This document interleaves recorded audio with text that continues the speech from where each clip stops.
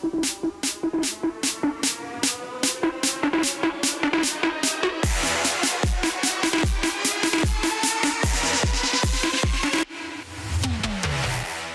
on the Sports Sportsmax Zone, and we turn our attention to the Trinidad and Tobago top flight football competition, the TNT Premier League. Defence Force have their work cut out if they are to retain the title. They are currently third heading into round 14. Great news for them. They're only three points behind leaders AC Port of Spain. Uh, three points actually separate the top four. Uh, let's take a peek at the table as it now stands heading into the weekend's matches. Port of Spain 26 points, Police 2 behind in second on 24, Defence Force third on 23, La Horquetta on 23 points in fourth, so on points they are joint third with Defence Force, just inferior on goal difference. Sando and Prison Service are the other teams in the top six. Morvant Caledonia and Central FC bottom of the table at the moment. Central FC with a wretched record of uh, 12 losses in their 12 games so far. And uh, their goal difference is minus 41. So maybe Brent can tell us something about Central FC when we speak to him in a couple of minutes from now. Uh, let's look at what happens this weekend. 1976 Phoenix FC versus Police. This is Friday. Defence Force taking on Prison Service and Eagles FC against VS Sando. The Sunday matches in the TT Premier League will be Central FC against Point Fortin and La Horquetta taking on the leaders AC Port of Spain. And uh, we're now joining uh, to give us valuable insight into the state of play, football correspondent Brent Sancho. Uh, Brent, welcome to the Sports Sportsmax Zone. Great to have this discussion with you on the TT Premier Football League. Um, can you advise us at the moment, though, about your status with Central FC, which was your club? Are you still in charge? Very, very much so. I can advise Lance and uh, and hello to all and on uh, set. Uh, I'm no longer integrally involved in the day-to-day activities of Central FC, and uh, maybe that is a reflection as to the position as what the club is in on the table. 12 matches and 12 losses. Yeah, 12 matches. It's uh, you know, it's it's really uh, a situation where uh, there are there are clubs within the league that have decided to go very young and with inexperienced players. Uh, at, at, least uh, 95 to 90 percent of the Central FC team is a very inexperienced. Men uh, that 90 to 95 have not played in the league before, uh, so they do have uh, the, the, the the challenges in terms of that side of things. Um, but they've had some one or two spirited performances. Look, a lot of the games that they've lost, remarkably not have all been self-inflicted uh, wounds. They've, they've uh, had situations where they went one goal up against Club Sando last Sunday through a penalty kick, and then they went on to to implode. And that's been really the story of the season, as you know, with players that are new to a league, uh, that they would make those sorts of mistakes. Young players, in particularly, they, they, they make individual errors, and it has cost them throughout the season. Yeah, um, before we talk about AC Port of Spain, the current leaders in the league, Brent, um, I just alluded to the fact that uh, Defence Force appear to have a, a, battle on their hands to retain their title. They did rebound from a mid February loss to Phoenix um, with a victory over the weekend against Police, I think it was, in a battle of the, of the, of the lawmen. How equipped are the Defence Force this year to be champions again? Yeah, that's a that's a difficult one, and I tell you why. They've they've had uh, several uh, departures from their team. The, the top goal scorer Brent Sam and Reon Moore, two of their more clinical and technically gifted players, uh, have gone on to, to other pastures. Uh, and they've lost Kaim Thomas, a, a, a winger that uh, is part of uh, Angus Asseef's squad to take on Jamaica this weekend. So they have lost a few. That being said, they've been able to bring in uh, a, young talisman from AC Port of Spain uh, over the transfer period uh, to now lead the lines for them. But I still feel, Lance, with the players that they would have lost during the, the transfer window, it may be a lot for them to try and fill those gaps uh, as other teams try to strengthen. And of course, as they pursue the leaders, AC Port of Spain. Yeah, and Brent, that leads me to my question. What has made AC Port of Spain so dominant this season? I think it's the experience of, of their, their, their national team players and the likes of uh, John Paul Rushford, Duane Muckette, uh, just to name a few, who's, who's uh, Punanjanon, who's now on your screen.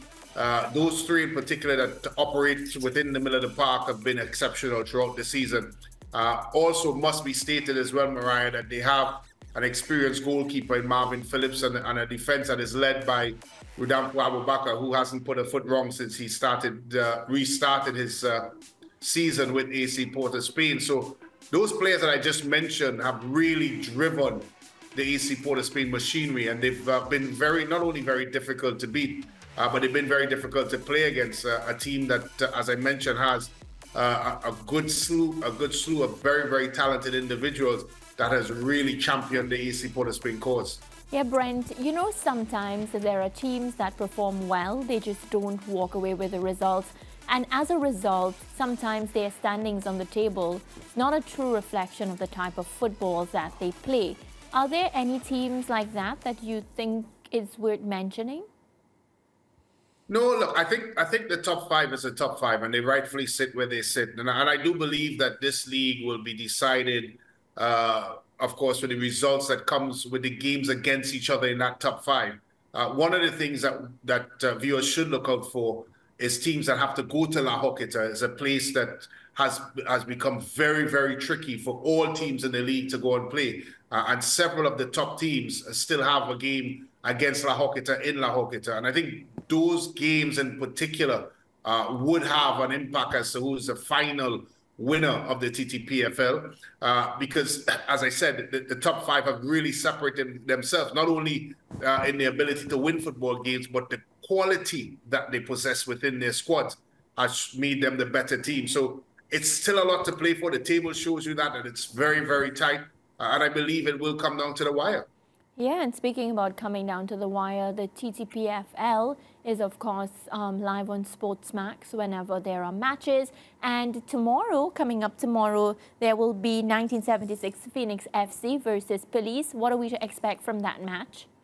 Well, I, I believe that the game, the fixtures for this weekend is so far uh, on hold because of the Trinidad Jamaica clash on the weekend. Okay. Um, so it will push it on to the next weekend. Um, but there's one particular fixture that is going to play out, and that is the La Horquetta Rangers fixture against AC Port of Spain. On Sunday, right? On Sunday. Okay. That game, but, but I'm not sure if it's playing this Sunday, it may play next Sunday. But I think that game in particular is going to have a lot of bearing as to how the title race is, is decided. As I mentioned to you, it is a it is a location that most teams struggle to go and get any joy. Uh, and that AC Port has been clashed could very well see either a change in fortunes as it relates to the leaders of the league, or of course AC Port has been further stretching their lead at top. Yeah, Brent, I always think about tournaments as uh, more or, or as an overall product, which means it's more than just a football that is played on the field. And you're also talking about a, a, lot of what surrounds it, including the crowd support. And I'm interested in what that has been like this season and whether you are pleased with the turnout you're seeing consistently in the stands. And if not, what can be done to improve that area so that the players feel that they are part of the top division of the country's football? On, on the overall, Ricardo, it's been disappointing. Uh, and, and I think a lot of it is down to the fact that, uh, of course, uh, acquiring venues, would you believe, in a country with so many stadiums and facilities has been a challenge. They've not been a situation where a fan could pull up a fixture and there is a list of games going all the way through for the next two, three months so they can plan accordingly.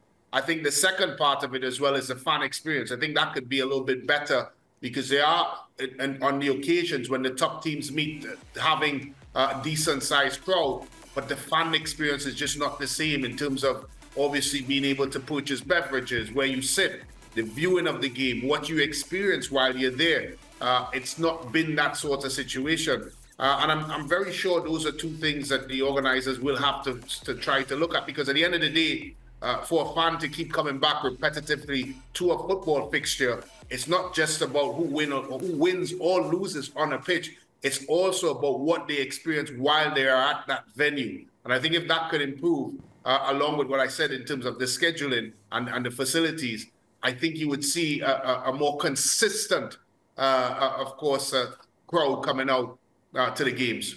Yeah, I'm not convinced that the scheduling issues will be necessarily fixed for this campaign, but how do you feel about the aspect of fan experience? Do you feel that this is something that the organizers can improve significantly or even fix for the remainder of this campaign, or do we just call this one a loss and look to get better for the next campaign? Well, I think there's a correlation between the venues and, of course, the fan experience. All of the venues barring maybe two or three within the the the this the, the of course the league um, is not owned by the the organizers. And and because of that they can't really put on this sort of activities that they probably want to do uh, at these facilities. They're, they're rented government facilities and and they don't have the opportunities to whether or not uh, issue bar licensing or any sort of licensing that would sell things at the venue being able to do different things that would of course give an appreciation to the fans so at, at the end of the day, uh, that is something that has to be worked on. I think there needs to be a little bit more thought process behind it because it is significant. We live in a world nowadays where, of course, uh, the, every human being has a lot of value to that dollar that they spend, and you have to give them value or more than the value that they expect. Uh, and of course, that is what is expected of, of, of, people that go to watch these games. So it's something that needs to be worked on. And I believe uh, maybe not this season, but in going into the, foot, the, the other the next season, is something that needs to be honed into and, and of course, improved. Yeah, all right, Brent, stay right where you are because uh, in a few moments from now, we'll be continuing a discussion with you. Uh, this time talking about TNT and Jamaica and their friendlies coming up this weekend. We go to break. Back in a moment.